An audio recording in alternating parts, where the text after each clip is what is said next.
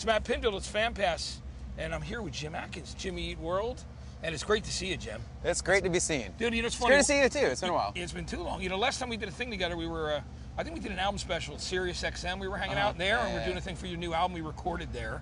Yeah. And I remember like the, the famous uh, disc jockey from the 16th, 17th, cousin Brucie came in there for a minute. He's like a, you know, he's still on their 60s channel, but Uh-huh. I remember that day. And we, you know, we actually, as we're by the tour buses, we met at a festival for the first time. And that was uh, Yeah, yeah, yeah. K-Rock Festival in Jones Beach in Long Island. Yeah, yeah, I I remember I ran up and he goes, dude, I've been a fan because I played Lucky Denver Mint on, on 120 Minutes MTV, which was very cool. I know, I know. It's so long ago. Great song. Those harmonies are great though, man. When- you were layering, layering the vocals on that track, it was. Tell me about the chorus part of it, like when you did It that. was just a, a more is more kind of approach Yeah, to that. yeah. Just like, like, hey, that sounded good. I mean, uh, I think a lot in terms of like melody with like singing, so it's Yeah. kind of easier to just I don't know. yeah, Making clarity, we were all into. Uh, we, we thought that it, we didn't know when we'd have a chance to make another record Yeah. like that again with the that was studio. like Capitol, right? I Yeah, that, yeah, At yeah. the time, yeah. So it was just like, hey, I want to try another vocal pass. I got another Yeah. idea. Hey, let's rent timpani today. It was, Yeah, it was it's just cool. like, Just "Ah, like- who knows when we're gonna get, get a chance It's to good. It's like again, you know so- what? The more I can, do, the more you can do, the more fun you'll have. I like that Yeah, idea. Like, you don't know if you're gonna get to do it again. I think that's very cool. You should look at every day like that, man. Yeah, you got to. Speak, Yeah. I'm looking at it today. You know, speaking of doing tours and, and, and everything that you've done, like coming out of Phoenix, what were the early what were the early days of shows like for you? Like so with me. The early days of shows for us were like uh, playing wherever we could, any offer we got. Like Yeah.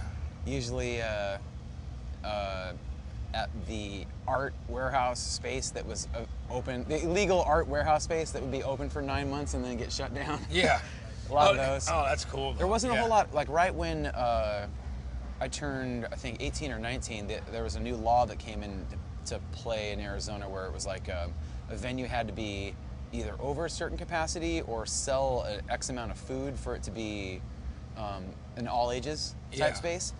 So a lot of the places that we would play sometimes ended up being just 21 and over like, only because they didn't want to mess around with the expense and So that's where you the underage you do the underage shows in the Yeah. art warehouse so that you get like kids in as well. Yeah. It was cool. They're unjaded too and they're excited and it was fun, right? Was Yeah, yeah, yeah. I mean, I'm I'm 38 now, but still, I I, I hate playing just bar shows, like 21 and over Yeah. shows. It's kind of. Yeah, you want to play for everybody so people Yeah. can come in and, and Oh, I remember. I remember that. It stuck with me being a kid. You know, like not being able to get into shows I wanted to see and having to stand in the back behind the the cattle fence, like Yeah.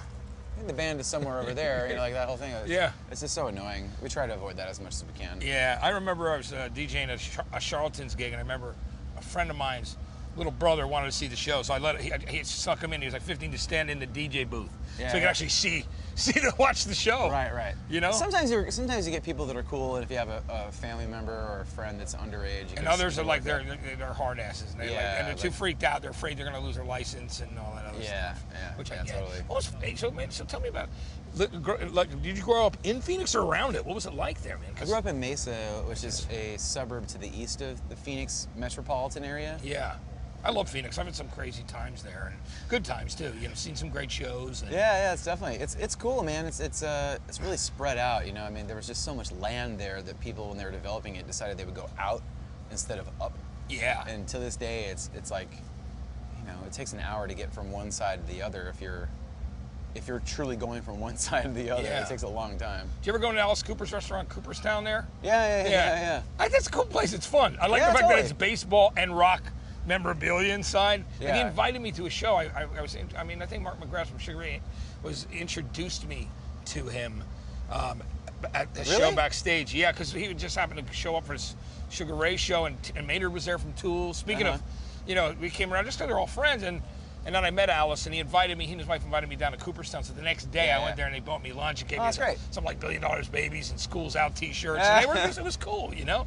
Yeah, But, he uh, seems like a really nice guy. He does a lot of charity work, and, Yeah. and locally, it's he seems like a really awesome guy. Good dude. Let's talk about Jerome, Arizona, though, because that's where I Oh, went up to Maynard's house from you know Tool and Perfect Circle. Yeah, I and, don't don't know him personally, but I know Jerome. But you Yeah. know, but tell people about uh, Jerome, like being the oldest and it's supposed to be the most haunted city or town yeah, in it's America. a strange it's a strange city. I think it was like a I think mining was it is its history, and it's it's really just like built on the side of a mountain, and it's it's beautiful. It's really cool. Um, But do you believe all the stories about it being the most haunted town in, in, I in don't America? know. I don't- Or you think uh, that's a tourist thing? I don't. I mean, any old hotel is going to have a bunch of ghost stories. Well, it's, yeah, like, it's the- good for business. It is yeah. funny because you know Maynard was um, joking with me. I went up there and I stayed there, and, and there was that restaurant on the top of that where that Yeah, hospital yeah, was. Right, it's now a hotel, the asylum. The Jerome Grand Hotel. Jerome Grand called, Hotel now, yeah. And you know what's funny? When I checked in there, they're like, "Hey, would you like to watch our uh, unsolved mysteries sightings video?"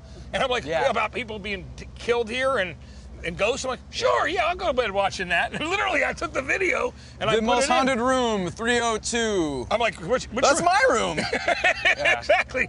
And then the funny, the crazy story was the last thing was, which is pretty morbid, but I guess a guy was a caretaker there hung himself in the lobby. So when I didn't call Maynard for a couple days after I left Jerome, he calls me. He goes, "Matt, what are you doing? What are you hanging out in the lobby?" Of course, Maynard's dry sense of humor. You know, what I mean? so yeah. Maynard. But I mean, That's that's good. exactly. But that side of the mountain thing is crazy, and you're driving up. It's Yeah. pretty amazing. Yeah, there's not a whole lot of places like it. It's it's it's, it's cool. Yeah. What is your, what, what other parts of Arizona do you recommend to people as well? Oh You man, you know, in May, we we started this whole uh, record cycle tour with a Yeah. small town tour of, of Arizona. We played in um, kind of places like that that are uh, you know don't get a whole lot of gigs, like Sierra, Yeah. Sierra Vista and, and um, Yuma. We played Yuma. Yeah. It's really it's a great place. It's really fascinating. You know, I mean, there's yeah. you go from like you know sea level to seven thousand feet. It's really just the gambit of Yeah. for you geography nuts out there. Yes. Come to Arizona. Yes, that's it. It's a beautiful state, actually. I like it a lot, man. Yeah, It's yeah, cool. it's great. But it's good to see you out here. It's really cool to see you, Jim. Yeah, man. Read about the new record too, man, on RCA, which is really cool. You know, doing your thing. And, Yeah, how wild you know, is that? I know it's wild. We're Well, still do- doing it. Capitol, right? And then was it DreamWorks? And Yeah. then and then And RCA. Well, yeah. Well, uh, it says good you know- things about you that yeah. people still want love the band and want to see, and they do. And I think that's cool. Like your fans that are watching right Yeah, now. I know. It's it's it's a it's a pretty wild thing. I think like as as uh, as we get older and as we the more, the more off the longer that we're doing this, I think Yeah. the easier it is to just find those little things that, that you can appreciate it in all of it. you Yeah. know? Like, Yeah. hey, Yeah. well, let's check this out. It's you know, great. I It's mean, are you, ser- are you What's better kidding than me? hanging out at a festival one day, playing for a bunch of people and having fun and playing your songs with people who love your songs? This is What's what a you better want, gig? right? This is what What's better gig? This is what all the work's for. This is Yeah. what you're wanting to do. Yeah. Like enjoy doing it. Yeah. Like here you are. Exactly. It's, like great. that thing people not forgetting why they got into it in the first place. Yeah, I just don't. I don't get how you mess this up. Yeah. I really don't. Like you know, like, uh, we've we've been getting a lot of people asking questions about uh, like because next year is our 20th anniversary as a band. Yeah. We're getting a lot of questions from people like um, doing doing like press and stuff for this Yeah. last record that are like, how do you guys do it, man? Is is it like what? What? They don't get it. Yeah. I, I, I it's because you love what you do. You're not punching the clock. You're having get- fun, man. You're playing get- on the stage and having a great Yeah, time. Yeah, exactly. I don't get how you don't get it. I mean, Yeah. I don't get how you mess this up. How you Yeah. bring let drama and bad things kind of get in the way of, Yeah. of doing what you want to do. Well, you know what they say drugs and relationships, that's the things that can mess it up. you know what I mean? As they know right from it can. no, that's It can true. make it good too. You know what I mean with some, but I mean, yeah. but, I mean, Start a band with sane people to begin with. That, That, that's that, that's to- our first recommendation to everyone there. hey, Jimmy, thanks for doing this, man. Yeah, It's great to yeah, see yeah, you, brother. man. Always. Jim Adkins from Jimmy Eat World on Fan Pass.